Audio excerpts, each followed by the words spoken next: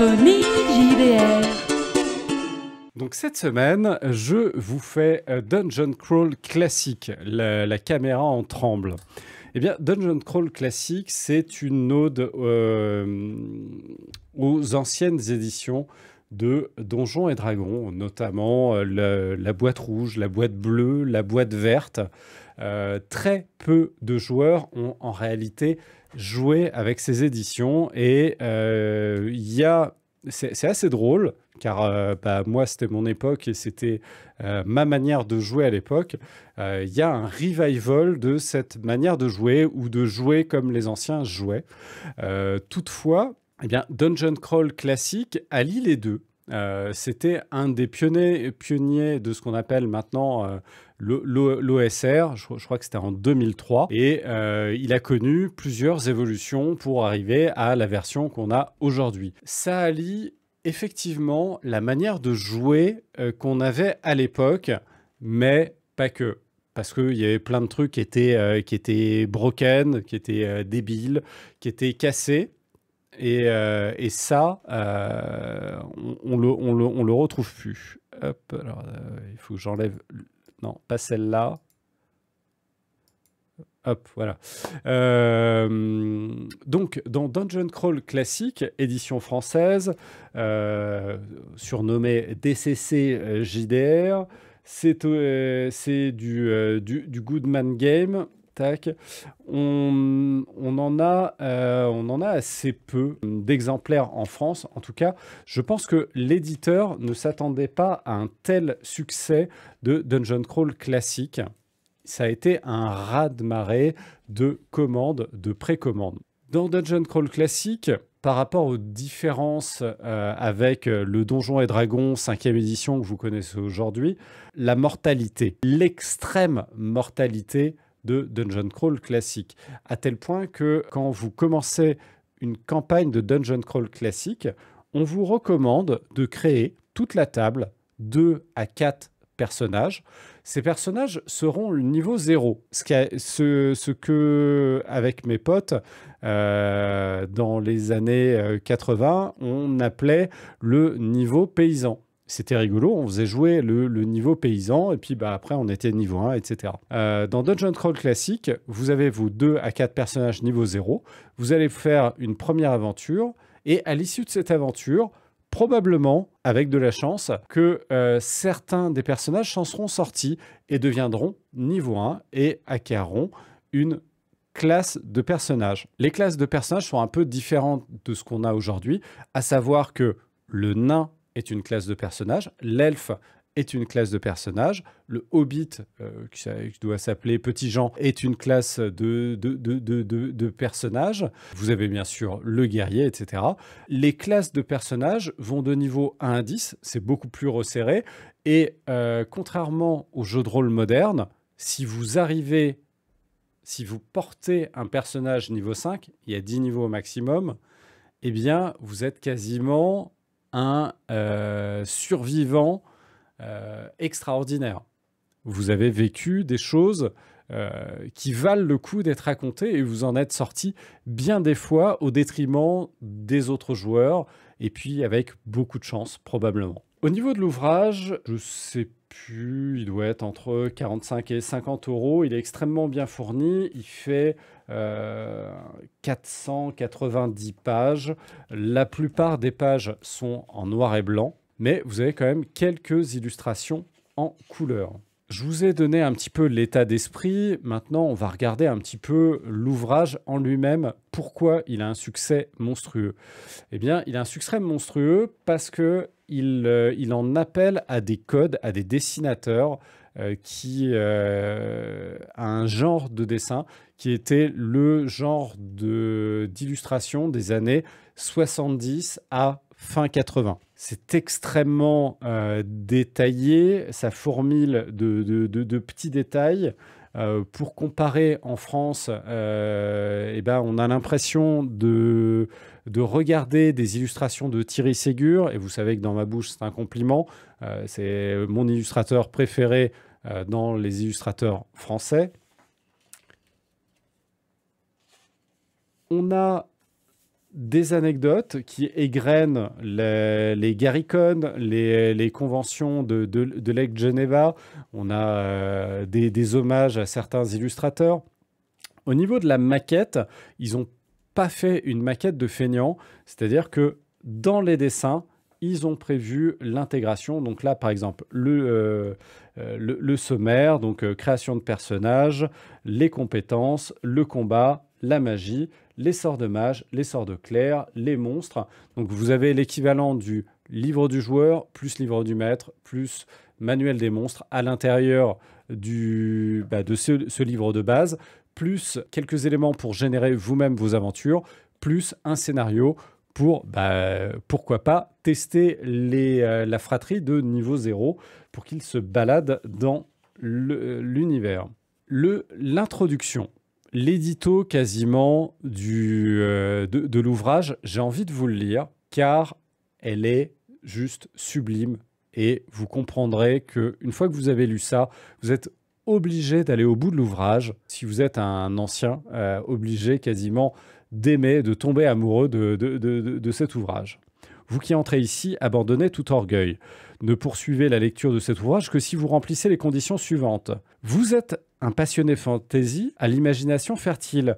Vous êtes au fait des us et coutumes de la pratique du jeu de rôle et connaissez l'histoire et l'importance des grands anciens, Gigax, Arneston, il cite quelques, quelques Anglais qu'on connaît peu en France.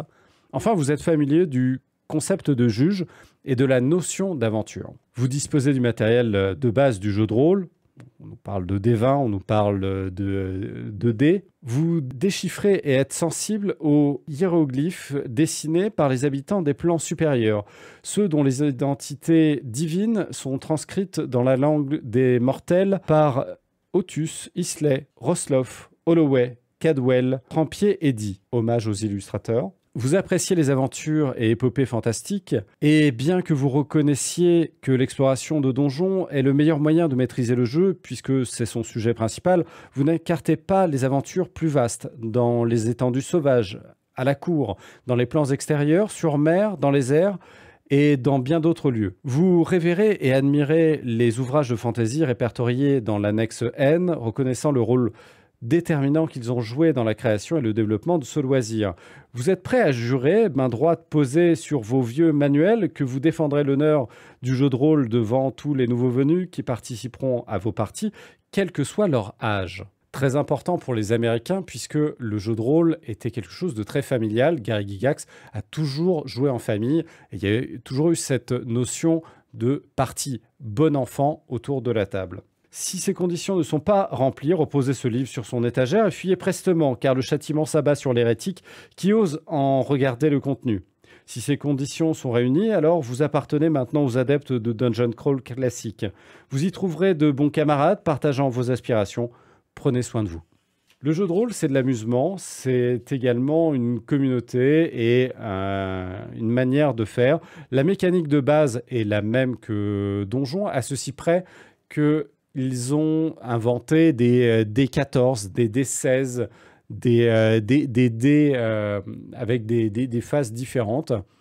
Globalement, vous faites toujours modificateur de caractéristiques plus un D20 euh, contre un seuil de difficulté mais dans certains cas, le, euh, juge euh, de, l'aventure va vous dire eh ben, ton dé est diminué, donc ton D20 devient un D18, ou au contraire, ton dé devient un D22. Donc il existe des dés euh, propres à Dungeon Crawl classique. Ils sont spoilers en rupture de stock, donc il y aura une réimpression, bien sûr. Toutefois, bon, ils donnent des systèmes hein, pour utiliser des dés classiques ma malgré tout. Je ne vais pas m'attarder pendant des heures parce que je pourrais en, parler longuement. Mais globalement, tac, tac, tac, vous commencez par choisir un métier. Ce métier va teinter l'aventure, va vous permettre euh, d'avoir un petit peu de contexte auprès de, de, de votre personnage. Donc, euh, il y a beaucoup de, de, tables aléatoires. Donc, vous allez tirer un métier, vous allez tirer une, une arme maîtrisée, vous allez éventuellement avoir une possession qui est liée. Tac, tac, tac. Profitez des illustrations. Si vous atteignez le niveau 1, eh bien, bravo. vous pourrez avoir une classe de personnages. Les classes vont du clair. Donc le clair, euh, le clair, le guerrier. Les illustrations hein, sont, magnifiques. Euh, vous pouvez passer un temps infini à euh, vous bloquer sur, sur les pages et regarder dans le détail. Le mage, alors le mage, le clair vont euh, avoir des règles légèrement différentes euh, de, donjon, c'est-à-dire que là, dès que vous lancez un sort, vous avez une table d'échecs. Euh, le clair, lui, il a, il a une attrition. Plus il sollicite sa divinité, plus les chances que sa divinité soit lassée de ses appels euh, survient ou plus l'échec critique survient et il va falloir faire repentance ou subir le courroux divin. Le voleur, on retrouve ici hein, les, anciennes euh, compétences du voleur, donc attaque sournoise, déplacement silencieux, détecter les pièges, désamorcer, euh, falsifier les documents, lire les langues inconnues. Les elfes sont une classe de personnages à part entière.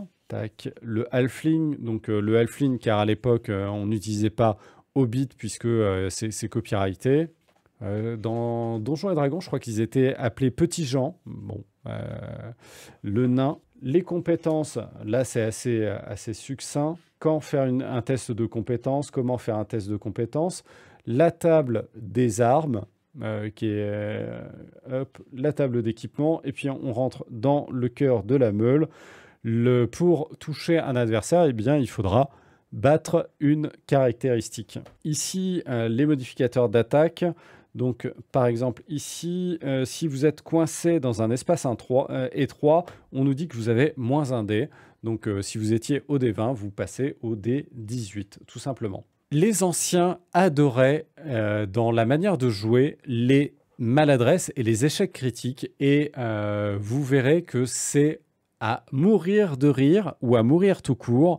Les maladresses et les échecs critiques, on a énormément de tables, on a des échecs critiques euh, par classe de personnages, des échecs critiques pour les guerriers, pour les mages, pour les voleurs, pour les elfes, pour les nains. Euh, vous avez aussi des échecs critiques euh, en rapport au niveau du personnage, des règles de différentes règles de combat, la guérison euh, ici, quand vous êtes à 0, bah, vous êtes mort.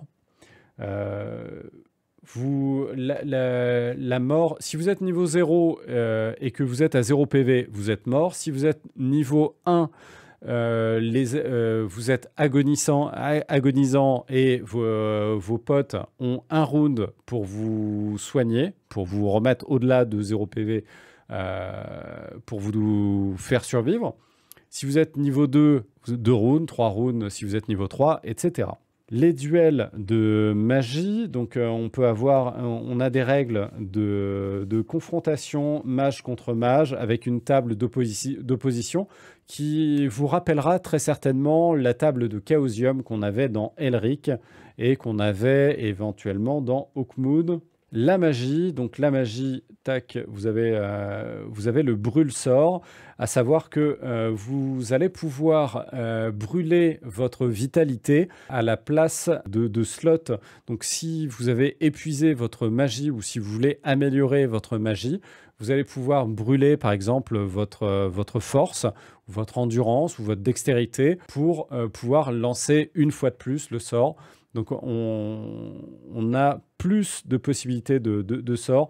Et par contre, le, brûle-sort peut avoir des conséquences qui, euh, qui, peuvent aller très loin. Ça peut euh, aller de la destruction, ça peut être de la malédiction, ça peut être euh, simplement de la corruption. La défaveur divine, les clercs peuvent solliciter leur divinité qui, la plupart du temps, répondra favorablement, mais à trop le faire, eh bien, des, choses euh, mauvaises vont vous arriver. Alors ensuite, eh bien, on a euh, les livres de sorts. Et les livres de sorts, à chaque fois, euh, vous avez chaque sort est extrêmement décrit. Et quand vous allez tester la réussite de votre sort, plus vous allez faire un gros jet au jet de compétences, plus votre sort va être classe, plus il va avoir d'effets. On n'est pas dans euh, le basique euh, Donjon et Dragon. Ici, la magie va vous amener au surprenant, au merveilleux, au démentiel. Et bien sûr, n'oubliez pas, la magie peut toujours faire un échec critique. Et là, les conséquences sont prévues pour tous les sorts. Donc la magie est très forte. Les conséquences aussi sur l'abus de la magie. Globalement, le jeu est mortel, mais le danger fait que vous, vos potes, si vous réussissez à survivre à une aventure, bah, vous vous en souvenez, ça compte. Dans l'ère moderne, dans Donjons et Dragons 5e édition, j'ai maîtrisé à ma table de vieux briscard euh, trois campagnes de Donjons et Dragons 5e édition et je n'ai déploré aucun mort alors que j'augmentais allègrement la difficulté des combats. Malgré tout, Donjons et Dragons 5e édition n'est pas fait pour tuer les joueurs, il est fait pour les mettre en valeur et qu'ils euh, réussissent tout euh, avec euh, des petits malus de temps en temps, mais Donjons et Dragons, c'est un jeu de super-héros. Donjon de Crawl classique, c'est un jeu Donjons et Dragons à l'ancienne, c'est de l'héroïque fantasy. Alors, tac, tac, tac. Euh, là, ensuite, eh bien, on va avoir euh, les, euh, les, patrons. donc, quand vous êtes, vous adonnez à la magie, vous pouvez avoir une, divinité ou une entité qui, vous patronne. Et on a, on ces patrons qui, qui sont là. La règle sur la chance, tac, tac, tac, plein de magie. On passe rapidement aux monstres. Donc là, on va avoir des tables pour générer des monstres soi-même. Mais rassurez-vous, ils vous mettent quand même quelques, monstres en exemple. On a des, tables de coups critiques, euh, de dragons, coups critiques, de morts-vivants, euh, les trésors, tac, tac, tac. Ah, voilà. Donc, nos monstres, ici, on va retrouver du classique, de l'ancien ou des choses qui vous font penser à des créatures qui, pourrait euh, sortir tout droit du monster manuel de Donjons et Dragons, hein, bien sûr. Tac, tac, tac.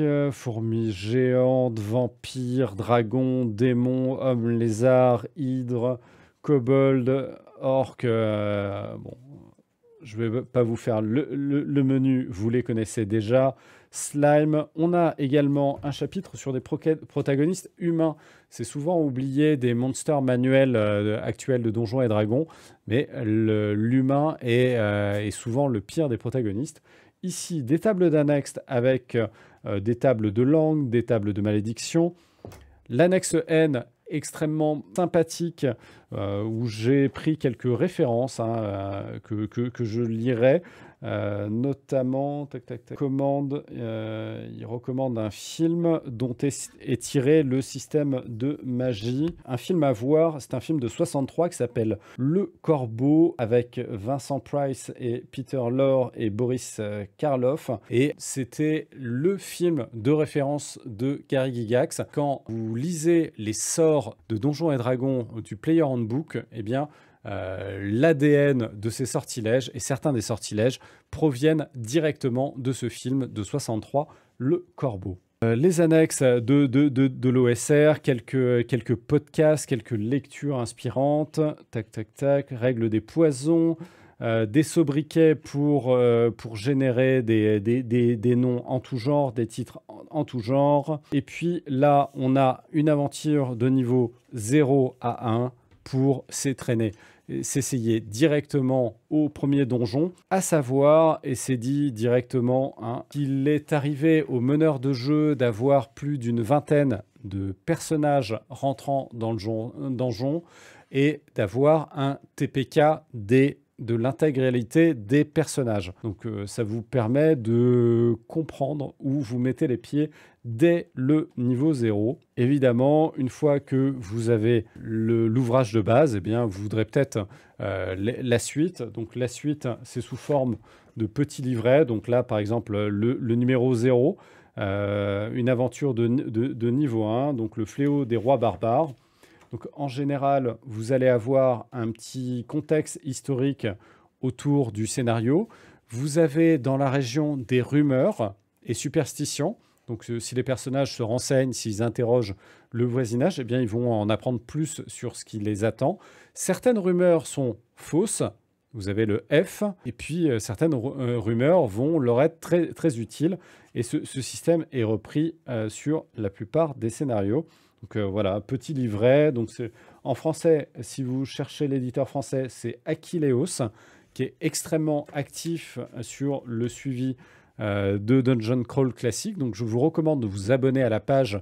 il y a plein de petites pépites, jeux de rôle et bande dessinée. Ça finit par quelques, quelques couvertures, tac tac, très jolies, et enfin couverture slash publicité sur des suppléments à paraître. Je peux conclure cette chronique avec l'écran de Dungeon Crawl classique.